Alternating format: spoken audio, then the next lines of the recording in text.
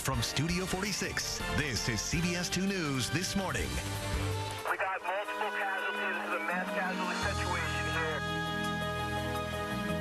here. Terror strikes lower Manhattan. Innocent cyclist mowed down by a truck used as a deadly weapon.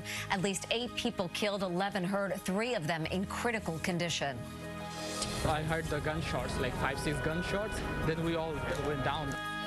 The driver shot by police investigators identify him as Sayfullo Saipov from Uzbekistan. He has currently lived in Paterson, New Jersey. Saipov was taken to Bellevue Hospital along with some of the victims.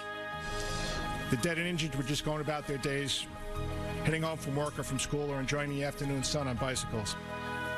Many of the victims were from Argentina visiting New York to celebrate their 30th high school reunion. Two of them were from Belgium and Germany. Now, most of the area surrounding the crash scene remains closed this morning at Westin Chambers, and that could cause problems for the morning commute.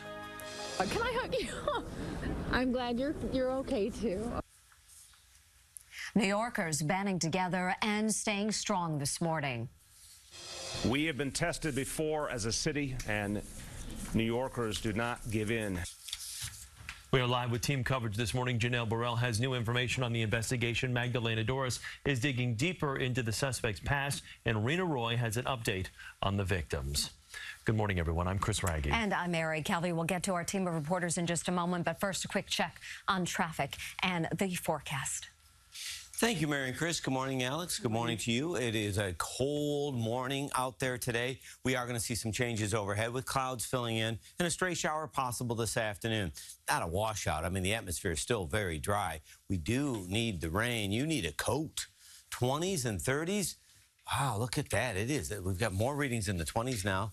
30 in Speonk, 42 in Stamford, one of the warmer readings closer to the city. But look at the Jersey Shore, Monmouth, Ocean, Middlesex County, all in the low 30s. So definitely chilly. Leading edge of the cloud cover rolling in, stray shower this afternoon. Tell you what, when you look back at the stats, last few months, we desperately need the rain. We'll run more of those stats in a second, but as you run out the door, grab a coat. Highs today, seasonal in the upper 50s, and uh, you've got more to avoid this morning, right, Alex? You're right, John. If you were traveling this morning, of course, some changes for you. The current closures on the west side of Lower Manhattan, here they are for you. West Street is closed southbound. That's from 14th Street to the Brooklyn Battery Tunnel. Northbound shut down between the tunnel and Canal Street as you travel through the area. Southbound on the FDR Drive, you must exit Whitehall Street or be forced into the tunnel, and traffic from Brooklyn will be pushed onto the northbound side of the FDR Drive. If you have to travel to Lower Manhattan this morning or really throughout the rest of the day, mass transit is going to be your best option.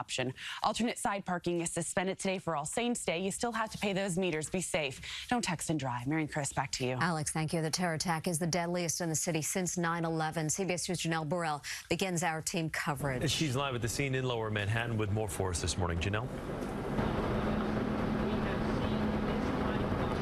Mary, we can tell you that investigators say that they believe this attack was inspired by ISIS. So we can tell you we are at the intersection of Greenwich and Chambers Street. And with our camera, we can show you at the end of this block, you can actually still see the truck uh, that was at the center of this attack where it came to rest after the deadly rampage.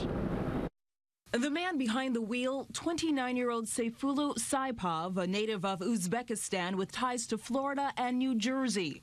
It was just after 3 Tuesday afternoon when the frantic first calls of his attack were radioed in.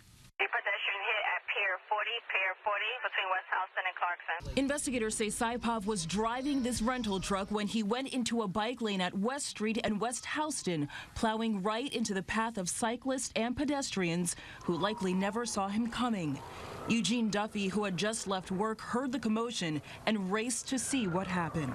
I see gentlemen laying there in this in the bike path that were run over by this pickup truck. There were three bicycles and they were destroyed to a point where I didn't know that bicycles could be destroyed in such a way. One of them was completely bent in half. The victims violently thrown off their bikes as Saipov continued on his collision course, a rampage lasting 14 blocks finally coming to an end at Chambers Street where Saipov crashed the truck into a small school bus, injuring two adults and two students. As Saipov exited the truck, sources say he yelled out in Arabic, God is great.